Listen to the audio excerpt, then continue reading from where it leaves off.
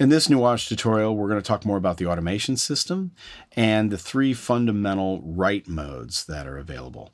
Uh, touch, latch, and crossover. So let's take a look. Now, there are several different modes for writing automation, and these are accessed right here. We are in touch mode right now, but there's also latch, crossover, and trim. So touch mode is really what it sounds like. Um, you can just touch any parameter and begin to write that parameter.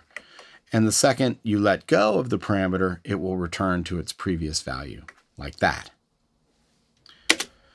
Now, if I want to try latch, what's going to happen here is the second I touch a parameter, it will start writing. But it'll stay in write mode until I stop the transport or if I take the channel out of automation write, like this. So I'm going to grab the fader, but now I'm going to let go. And it's going to continue to write that automation level until I stop or take the channel out of write. So auto latch mode is helpful if you're setting up a whole bunch of channels and you can't hold on to them the entire time. You just want to set their levels and run um, the transport for a while to write those volume levels in for a certain period of time or any other parameter. The next one is crossover. Crossover is a little bit more complex. And the idea here is um, once you start writing automation, you will continue to write automation until you've crossed over the volume line two times. So to begin with, I'm going to grab the fader, pull it down. If I let go, it's as if we're in latch mode.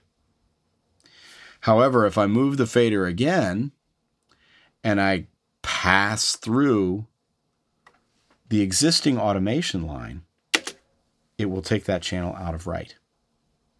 So let me do that again because this can be a little counterintuitive.